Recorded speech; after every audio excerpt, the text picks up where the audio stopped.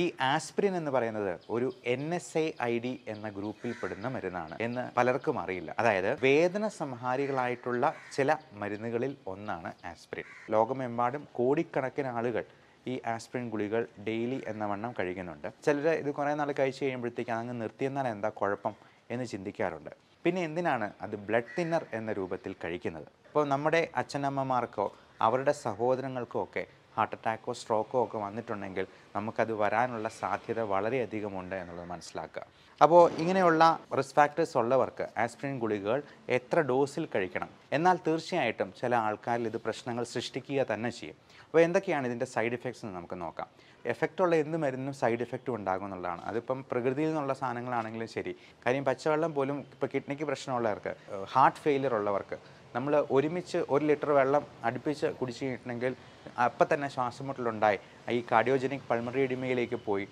പെട്ടെന്ന് തന്നെ ആൾ മരിച്ചു പോകുന്ന ഒരു സ്ഥിതിവിശേഷം തന്നെ ഉണ്ടാക്കാം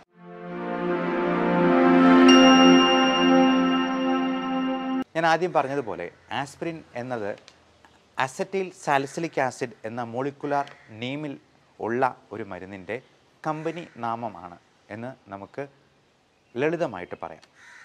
ഈ ആസ്പിരിൻ എന്ന് പറയുന്നത് ഒരു N S I I D എന്ന ഗ്രൂപ്പിൽപ്പെടുന്ന മരുന്നാണ് എന്ന് പലർക്കും അറിയില്ല. അതായത് non steroidal anti inflammatory drugs എന്ന ഗ്രൂപ്പിൽപ്പെടുന്ന വേദന സംഹാരികളായിട്ടുള്ള ചില മരുന്നുകളിൽ ഒന്നാണ് ആസ്പിരിൻ. സ്റ്റിറോയിഡ് അല്ലാത്ത നീർക്കെട്ട് കുറയ്ക്കുന്ന ആന്റി ഇൻഫ്ലമേറ്ററി ആയിട്ടുള്ളതും പെയിൻ കുറയ്ക്കുന്നതായിട്ടും ഉള്ള ഒരു മരുന്നാണ് ഈ ആസ്പിരിൻ. പിന്നെ എന്തിനാണ് അത് ബ്ലഡ് തിന്നർ എന്ന രൂപത്തിൽ കഴിക്കുന്നത്? ഈ എൻ എസ് ഐ ഡി ഗ്രൂപ്പിൽ പെടുന്ന ഒരുപാട് മരുന്നുകളെ നമുക്ക് അറിവുള്ളതാണ്. പാരസെറ്റമോൾ നമ്മൾ പനിക്ക് കഴിക്കുന്ന സ്ഥിരം കഴിക്കുന്ന ഒരു ഗുളികയാണ്. ഐബുപ്രൂഫിൻ അല്ലെങ്കിൽ ഡൈക്ലോഫിനാക് തുടങ്ങിയ മരുന്നുകളൊക്കെ വളരെ സുലഭമായിട്ട് നമ്മൾ നമുക്ക് മാർക്കറ്റിൽ കിട്ടുന്നതാണ്. ആ മരുന്നുകളൊക്കെ പല ഉപയോഗത്തിനും മിക്കവാറും വേദനയ്ക്കും അല്ലെങ്കിൽ പനി കുറയ്ക്കാനും ഒക്കെ ആയിട്ട് നമ്മൾ ഉപയോഗിക്കാറുണ്ട്. നീർക്കെട്ട് കുറയ്ക്കാനായിട്ടും ഈ മരുന്നുകൾ തന്നെ ധാരാളമാണ്. അപ്പോൾ ഈ മരുന്നുകൾ എങ്ങനെയാണ് ബ്ലഡ് തിന്നർ എന്നുള്ള ഗ്രഹത്തിലേക്ക് വരുന്നത്? ഈ മരുന്നുകളൊന്നുമല്ല ആസ്പ്രിൻ മാത്രമാണ് നമ്മൾ ഈ ഗ്രൂപ്പിൽ പെടുത്തിയിരിക്കുന്നത്. കാരണം അതിന്റെ ആന്റി പ്ലേറ്റ്ലെറ്റ് പ്രോപ്പർട്ടിയാണ്. ഈ പ്ലേറ്റ്ലെറ്റ്സ് എന്ന് പറയുന്നത് നമ്മുടെ രക്തം കട്ട പിടിക്കാനായിട്ടുള്ള ബ്ലഡിലെ ഒരു പ്രത്യേകതരം ഫാക്ടേഴ്സാണ് ഈ പ്ലേറ്റ്ലെറ്റിന് എതിരെ പ്രവർത്തിക്കുന്നത് കൊണ്ട് തന്നെ രക്തം പെട്ടെന്ന് കട്ട പിടിച്ചു പോകില്ല എന്നുള്ളതാണ് ആസ്പ്രിൻ മരുന്നുകൾ കഴിക്കുന്നതുകൊണ്ടുള്ള ഗുണം. അപ്പോൾ ഈ ആസ്പിരിൻ മരുന്ന് കഴിക്കുമ്പോൾ അതോടൊപ്പം നമുക്ക് മനസ്സിലാവുന്ന ഒരു കാര്യമാണ് ഒത്തിരി ബ്ലീഡിംഗ് ഉണ്ടാകാൻ സാധ്യതയുള്ള ആളുകൾ ആസ്പിരിൻ മരുന്നുകൾ സ്ഥിരം കഴിക്കരുത്.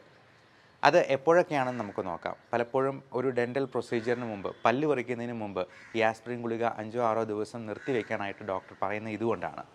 അതേപോലെ തന്നെ ബ്ലീഡിങ്ങിന് സാധ്യതയുള്ള സർജറീസോ അല്ലെന്നുണ്ടെങ്കിൽ ഹെമറേജ് ഉണ്ടാകുന്ന ഏതെങ്കിലും ഒരു ആക്സിഡന്റിലോ അപകടത്തിലോ പെട്ട് വന്നിരിക്കുന്ന ആളുകൾക്കും ആസ്പിരിൻ ഗുളിക നിർത്തിവെക്കാറുണ്ട് ഈ ആസ്പിരിന്റെ കൂടെ തന്നെ ചിലപ്പോൾ ക്ലോപ്പിഡോഗ്രിൽ എന്നൊരു മരുന്നും അത് ഡ്യുവൽ ആന്റിപ്ലേറ്റ്ലെറ്റ് എന്നാണ് നമ്മളതിനെ പറയുക. അതോടൊപ്പം കൊളസ്ട്രോൾ ലോവറിംഗ് ആയിട്ടുള്ള സ്റ്റാറ്റിൻ ഗ്രൂപ്പിൽപ്പെടുന്ന ഏതെങ്കിലും ഒരു മരുന്നും അട്രോസ്റ്റാറ്റിനോ റോസ്വാസ്റ്റാറ്റിനോ ഒക്കെ നമ്മൾ ഇതിന്റെ കൂടെ കഴിക്കാൻ കൊടുക്കാറുണ്ട്. അത് എപ്പോഴാണ് ഹാർട്ട് അറ്റാക്ക് വന്നിട്ടുള്ള ഒരാൾക്ക് അല്ലെങ്കിൽ സ്ട്രോക്ക് വന്നിട്ടുള്ള ഒരാൾക്ക് അല്ലെങ്കിൽ അതിനുള്ള സാധ്യത വളരെയധികം കൂടി നിൽക്കുന്ന ആളുകൾ. അപ്പോൾ ഇങ്ങനെയുള്ളവർക്കാണ് നമ്മൾ ഈ ആസ്പിരിൻ മരുന്നും പ്രധാനമായിട്ടും കൊടുക്കേണ്ടത് എന്ന് മനസ്സിലാക്കാം. അപ്പോൾ ഇങ്ങനെയുള്ള റിസ്ക് ഫാക്ടേഴ്സ് എന്തൊക്കെയാണ് എന്ന് നമ്മളൊന്ന് മനസ്സിലാക്കി വെച്ചിരിക്കണം. അതായത് ഹാർട്ട് അറ്റാക്ക് വരാൻ അല്ലെങ്കിൽ സ്ട്രോക്ക് വരാനുള്ള റിസ്ക് കൂടുതലുള്ള ആളുകൾ ആരൊക്കെയാണ് എന്ന് നമുക്ക് മനസ്സിലാക്കണം. ഈ ആസ്പിരിന്റെ ആക്ഷൻ ഹൃദയത്തിലല്ല എന്നുള്ളതാണ് ഇതിലേറ്റവും പ്രധാനപ്പെട്ട കാര്യം. ഈ ഹൃദയത്തിൽ അത് ആസ്പിരിൻ ഗുളിക ഒന്നും ചെയ്യുന്നില്ല. പകരം എവിടെയാണ് അതിന്റെ ആക്ഷൻ വരുന്നത്? നമ്മുടെ രക്തത്തിലാണ് അല്ലെങ്കിൽ രക്തക്കുഴലുകളിലാണ്. കാരണം ഈ രക്തക്കുഴലുകളിൽ ചെറിയ എന്തെങ്കിലും പോറലുകൾ ഉണ്ടാകുമ്പോൾ എൻഡോത്തീലിയൽ ഡാമേജ് എന്ന് നമ്മൾ അതിനെ വിളിക്കും. പ്രത്യേകിച്ചും കോവിഡ് പോലുള്ള ഇൻഫെക്ഷൻസ് കൊണ്ടോ മറ്റ് പല കാരണങ്ങൾ കൊണ്ടോ ഒക്കെ ചെറിയ അത്രോസ്ക്ലിറോസിസ് നമ്മളെ കൊളസ്ട്രോളിന്റെ കാൽസിഫിക്കേഷൻ കൊണ്ട് അല്ലെങ്കിൽ ചുറ്റും ബ്ലഡ് വെസലിന് ചുറ്റും ചീത്ത കൊളസ്ട്രോൾ അടിഞ്ഞു കൂടുന്നത് കൊണ്ട് ഒക്കെ ഇതിന്റെ ആ ല്യൂമൻ ചെറുതായി വരികയും പിന്നീട് ഇതിന്റെ ചെറിയ പോറലുകളുണ്ടായി. അവിടെ പ്ലേറ്റ്ലെറ്റ്സ് അടിഞ്ഞുകൂടി. അവിടെ ക്ലോട്ട് ഫോം ചെയ്ത് ആ ക്ലോട്ട് വലുതായി. ചിലപ്പോൾ അത് അങ്ങോട്ടും ഇങ്ങോട്ടും ട്രാൻസ്പോർട്ട് ചെയ്ത്. ഒക്കെ. അത് വലിയ ബ്ലോക്കിലോട്ട് വരുന്ന ഒരു സാഹചര്യം നമുക്ക് കാണാവുന്നതാണ്. ഇത് ഹാർട്ടിന്റെ അങ്ങോട്ട് പേശികൾക്ക് പമ്പ് ചെയ്യുന്ന ബ്ലഡ് കൊടുക്കുന്ന കൊറോണറി ആർട്ടറീസിൽ വരുമ്പോഴാണ് ഇത് coronary artery disease C A D എന്ന നാമത്തിൽ അത് അറിയപ്പെടുന്നത്. അത് ഫുള്ളായി ബ്ലോക്കായി കഴിയുമ്പോൾ നമുക്കറിയാം അൻപത് ശതമാനം ബ്ലോക്ക് അറുപത് എഴുപത് എന്നൊക്കെ പറഞ്ഞ് ചിലപ്പോൾ നമ്മൾ ആൻജിയോഗ്രാം ചെയ്ത് കഴിഞ്ഞിട്ട് അതിന്റെ റിപ്പോർട്ടിൽ നമ്മൾ കാണാറുണ്ട്. അത് നൂറ് ശതമാനം ബ്ലോക്ക് ആകുമ്പോൾ ഈ കൊറോണറി ആർട്ടറീസിലൂടെ ഒട്ടും ബ്ലഡ് പോകാതെ വരാം.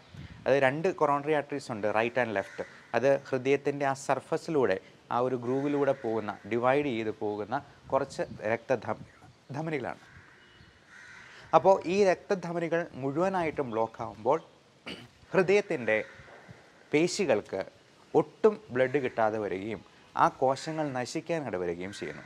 അപ്പോഴാണ് നമ്മൾ അതിനെ ഹാർട്ട് അറ്റാക്ക് എന്ന ലേമാൻ ടൈമിൽ അറിയപ്പെടുന്ന മയോകാർഡിയൽ ഇൻഫാക്ഷൻ എന്ന അസുഖമായി എന്ന് സ്ഥിരീകരിക്കുന്നത്. ഇങ്ങനെ മയോകാർഡിയൽ ഇൻഫാക്ഷൻ സംഭവിച്ചു കഴിഞ്ഞെന്നാൽ അതായത് ഹൃദയത്തിന്റെ കോശങ്ങൾ മുഴുവനായിട്ടും നശിച്ചു പോയി കഴിഞ്ഞെന്നാൽ അത് ഒരിക്കലും നമുക്ക് തിരിച്ചെടുക്കാൻ പറ്റാത്ത പോലെ ഒരു ഡാമേജായി തീരും. അതിനുശേഷം ഹൃദയം നല്ല രീതിയിൽ സ്പന്ദിക്കുക പോലുമില്ല എന്ന് പറയാം. നമുക്ക് പലപ്പോഴും അറിയാം അറ്റാക്ക് വന്നിട്ടുള്ളവരുടെ എക്കോ ചെയ്ത് റിപ്പോർട്ട് കാണുമ്പോഴേക്കും നമുക്ക് കാണാറുണ്ടത് regional wall abnormality motion abnormality എന്ന്. അതായത് ഹൃദയം നേരെ നടന്നു പോകുന്ന ഒരാൾ മുടന്തി നടക്കുന്നത് പോലെ ഹൃദയത്തിന്റെ സ്പന്ദനത്തിലും ആ പേശികളുടെ ചലനത്തിലുമൊക്കെ അത്രയധികം ഒരു ഡിസ്ഫങ്ഷൻ ഉണ്ടാകുന്നു എന്നുള്ളത് അർത്ഥം മാത്രമല്ല അത് ഒത്തിരി പേശികളിലേക്ക് ഈ പറയുന്ന ഡാമേജ് വന്നു കഴിഞ്ഞെന്നാൽ ചിലപ്പോൾ ഹാർട്ട് ഫെയിലിയർ ആവാം. മാത്രമല്ല അതുകൊണ്ട് ആൾ മരണമടയുക വരെ സംഭവിക്കാം.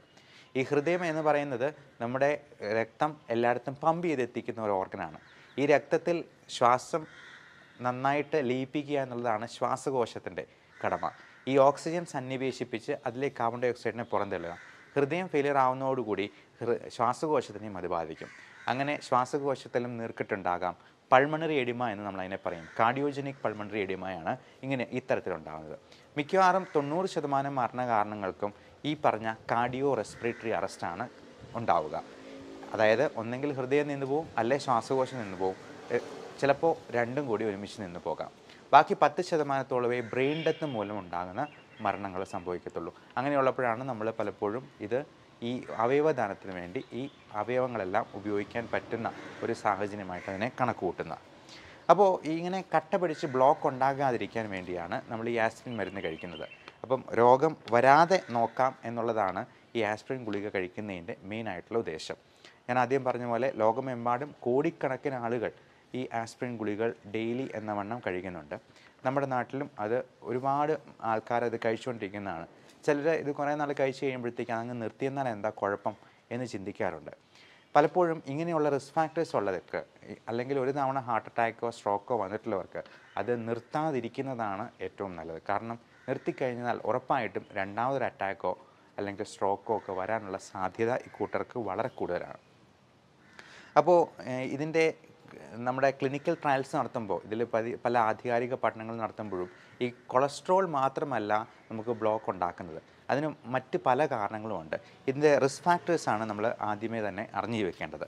അപ്പോൾ ഇതിന്റെ ഏറ്റവും പ്രധാനമായിട്ടുള്ള ഈ സെഡൻഡറി ലൈഫ് സ്റ്റൈൽ നമ്മൾ ഒറ്റ ഇരിപ്പിൽ തന്നെ ഇരുന്നുകൊണ്ട് ജോലി ചെയ്യുന്നവർ അമിത വണ്ണമുള്ളവർ ദുർമേധസ്സുള്ളവർ ആ കൂടെ ഏറ്റവും പ്രധാനപ്പെട്ട റിസ്ക് ഫാക്ടറാണ് നമ്മുടെ ഹെറിഡിറ്ററി ആയിട്ടുള്ള ജനറ്റിക് ഫാക്ടേഴ്സ് ഇപ്പോൾ നമ്മുടെ അച്ഛനമ്മമാർക്കോ അവരുടെ സഹോദരങ്ങൾക്കോ ഒക്കെ ഹാർട്ട് അറ്റാക്കോ സ്ട്രോക്കോ ഒക്കെ വന്നിട്ടുണ്ടെങ്കിൽ നമുക്കത് വരാനുള്ള സാധ്യത വളരെയധികമുണ്ട് എന്നുള്ളത് മനസ്സിലാക്കുക.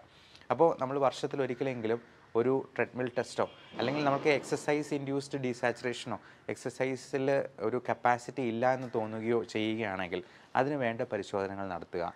വർഷത്തിലൊരിക്കലെങ്കിലും ഒരു ഇ സി ജി എടുക്കുന്നത് നന്നായിരിക്കും. ഇങ്ങനെ റിസ്ക് ഫാക്ടേഴ്സ് ഉള്ളവർക്ക്. അതേപോലെ തന്നെയുള്ള ഒരു റിസ്ക് ഫാക്ടറാണ് ഡയബറ്റീസ് ഹൈപ്പർ ടെൻഷൻ കൊളസ്ട്രോൾ കൂടി നിൽക്കുന്ന അവസ്ഥ.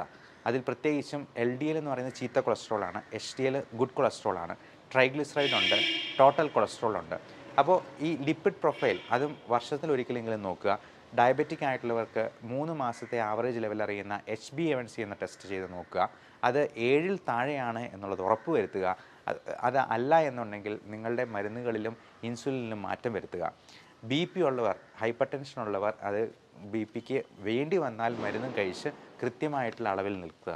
കാരണം ഇതൊക്കെ എപ്പോൾ വേണമെങ്കിലും നമുക്ക് ഈ ഹാർട്ട് അറ്റാക്കും സ്ട്രോക്കും പോലുള്ള പ്രശ്നങ്ങൾ സൃഷ്ടിക്കാനായിട്ട് പ്രാപ്തരായ വില്ലന്മാരാണ് എന്ന് നമ്മൾ മനസ്സിലാക്കുക. ഇനി ഹാർട്ട് ബ്ലോക്ക് എന്താണ് എന്ന് പലരും സംശയം ചോദിക്കാറുണ്ട്. ഈ ഹാർട്ട് ബ്ലോക്ക് എന്ന് പറയുന്നത് ഈ ബ്ലഡ് വെസലിലെ ബ്ലോക്ക് കൊണ്ടുണ്ടാകുന്ന ഹാർട്ട് അറ്റാക്കിൽ നിന്ന് വിഭിന്നമാണ് എന്നുള്ളത് മനസ്സിലാക്കുക. കാരണം ഈ ഹാർട്ട് ബ്ലോക്ക് എന്ന് പറയുന്നത് നമ്മുടെ ഹൃദയത്തിലുള്ള ഇലക്ട്രിക് ഇമ്പൾസസിന്റെ ട്രാൻസ്മിഷനിൽ വരുന്ന എന്തെങ്കിലും അപാകതകൾ നിമിത്തം വരുന്നതാണ്. കാരണം ഈ ഇലക്ട്രിക്കൽ ഇമ്പൾസസ് നമുക്ക് കയ്യും കാലും ഒക്കെ അനക്കണമെന്നുണ്ടെങ്കിൽ നമ്മുടെ ബ്രെയിനിൽ നിന്ന് ഇമ്പൾസ് കൊടുത്താണ് അത് സംഭവിക്കുക. എന്നാൽ ഹാർട്ടിന്റെ സ്പന്ദനം അത് ഉള്ളിൽ അതിന്റെ ഉള്ളിൽ തന്നെ എസ് എനോടും എ വിനോടും ബണ്ടിൽ ഓഫ് ഹിസ്സും ഒക്കെ ഉണ്ട്. അപ്പം ആ ഒരു ആ ശാഖകളിലൂടെ ഉള്ള ഇലക്ട്രിക് ഇമ്പൾസസിലുള്ള ട്രാൻസ്മിഷനിൽ എന്തെങ്കിലും അപാകതകൾ അല്ലെങ്കിൽ തടസ്സം നേരിട്ടെന്നാൽ ഹൃദയത്തിന്റെ സ്പന്ദനത്തിന്റെ താളക്രമം അത് തെറ്റിപ്പോകും. അപ്പോൾ ഇങ്ങനെ താളക്രമം തെറ്റിപ്പോകുന്ന അവസ്ഥകളെയാണ് പല രീതിയിലുള്ള ഹാർട്ട് ബ്ലോക്ക് ആയിട്ട് നമ്മൾ തരംതിരിക്കാറുള്ളത്. അപ്പോൾ ചിലപ്പോൾ അങ്ങനെയുള്ള അവസ്ഥകൾ അത് വളരെ കൂടുതലായിട്ട് വന്നാൽ പേസ് മേക്കർ പോലുള്ള കാര്യങ്ങളിലേക്ക് നമ്മൾ ചിന്തിക്കേണ്ടതായിട്ട് വരും. ആർട്ടിഫിഷ്യൽ പേസ് മേക്കർ വെച്ച് പിടിപ്പിക്കുന്നത് നിങ്ങൾ പലരും കണ്ടിട്ടുണ്ടാകാം. അപ്പോൾ ഇങ്ങനെയുള്ള ഹൃദയത്തിന്റെ പ്രശ്നങ്ങളെ നമ്മൾ തിരിച്ചറിയുക അങ്ങനെയുള്ള റിസ്ക് ഫാക്ടേഴ്സിനെ നേരത്തെ തന്നെ കണ്ട് അത് അവോയ്ഡ് ചെയ്യുക. അപ്പോൾ ഇങ്ങനെയുള്ള ഈ റിസ്ക് ഫാക്ടേഴ്സ് ഉള്ളവർക്ക് ആസ്പിരിൻ ഗുളികകൾ എത്ര ഡോസിൽ കഴിക്കണം? പലപ്പോഴും ഈ ഹാർട്ട് അറ്റാക്ക് ഉണ്ടാകുമ്പോഴത്തേക്കും നമ്മളതിന് ലോഡിംഗ് ഡോസ് എന്ന് പറഞ്ഞതുണ്ട് അതായത് ഹാർട്ട് അറ്റാക്കായിട്ട് വന്നിരിക്കുന്ന ഒരാൾക്ക് ലോഡിംഗ് ഡോസായിട്ട് മുന്നൂറ് മില്ലിഗ്രാം വരെ നമ്മൾ എക്കോസ്പ്രിനും ക്ലോപ്പിഡോഗ്രിലും അതുപോലെ ചിലപ്പോൾ അട്രോസ്റ്റാറ്റിന് എൺപത് മില്ലിഗ്രാം വരെ കൊടുക്കാറുണ്ട് എന്നുള്ളത് മനസ്സിലാക്കുക. ഈ അട്രോസ്റ്റാറ്റിൻ കഴിച്ചെന്നാൽ ഷുഗർ വരുമോ എന്ന് പലരും ചോദിക്കാറുണ്ട്. നമ്മൾ ഡെയിലി മെയിന്റെയിൻ ചെയ്യുന്ന പത്ത് മില്ലിഗ്രാം കഴിച്ചുകൊണ്ടിരുന്നാൽ ഷുഗർ വരത്തില്ല. പക്ഷേ ഇതുപോലെ ഇങ്ങനെ എൺപത് മില്ലിഗ്രാമിലൊക്കെ തുടങ്ങി അത് നാൽപ്പത് മില്ലിഗ്രാം ആക്കി മെയിന്റെയിൻ ചെയ്യുമ്പോൾ ചിലപ്പോൾ ഷുഗർ വരാം.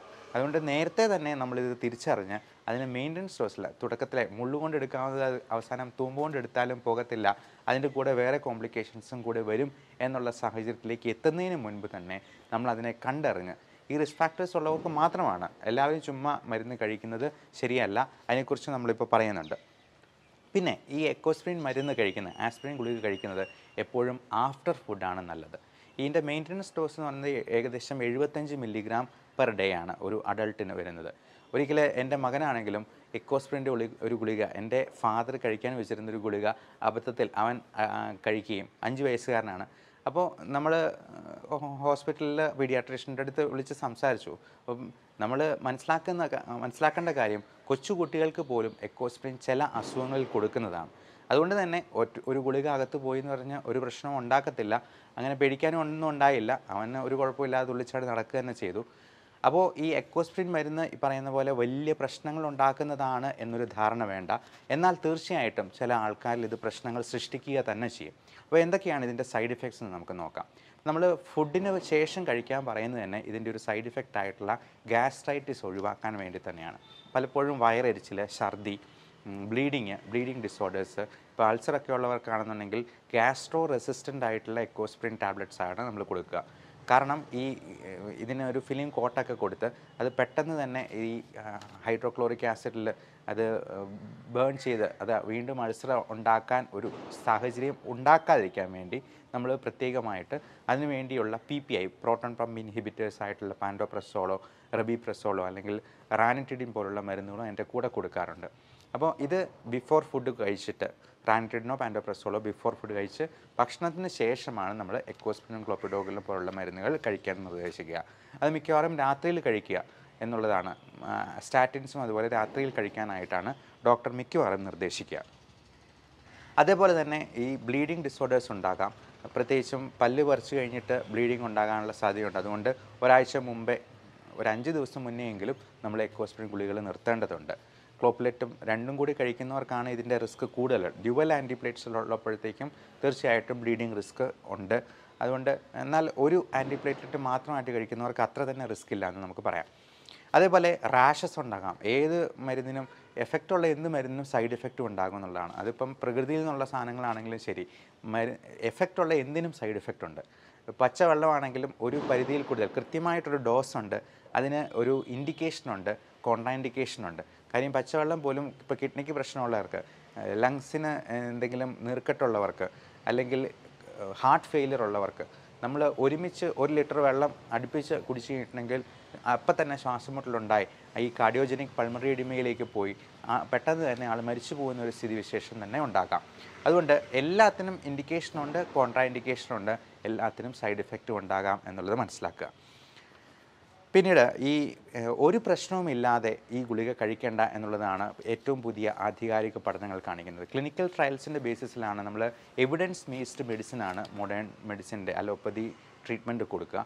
അപ്പോൾ പുതിയതായി നടത്തിയ ക്ലിനിക്കൽ ട്രയൽസിലെല്ലാം എക്കോസ്മിൻ ഗുളിക ഒരാവശ്യമില്ലാതെ കഴിക്കേണ്ട ആവശ്യമില്ല. രണ്ടോ മൂന്നോ റിസ്ക് ഫാക്ടേഴ്സ് ഉണ്ട്. രണ്ടിൽ കൂടുതൽ റിസ്ക് ഫാക്ടർ ഉണ്ടെങ്കിൽ ഉറപ്പായിട്ടും എക്കോസ്പ്രിൻ കഴിക്കണം. ഒരു റിസ്ക് ഫാക്ടർ മാത്രമായിട്ടുള്ളതെങ്കിൽ എക്കോസ്പ്രിൻ നിങ്ങൾക്ക് കഴിക്കാം കഴിക്കാതിരിക്കാം. അത് നിങ്ങളുടെ ഡോക്ടറുമായിട്ട് സംസാരിച്ച് ആ ഡോക്ടറിന്റെ ഡിസ്ക്രിപ്ഷന് വിടുക എന്നുള്ളതാണ് നമുക്ക് പറയാനുള്ള ഒരു സജഷൻ. ഈ വിഷയത്തെപ്പറ്റി എന്തെങ്കിലും സംശയങ്ങളുണ്ടെങ്കിൽ you can contact in the WhatsApp given be below nine five six double seven one double zero seven three അർജന്റായിട്ടുള്ള online consultation ആവശ്യമുണ്ടെങ്കിൽ നിങ്ങൾക്ക് ഫോൺ ചെയ്യാവുന്നതുമാണ്.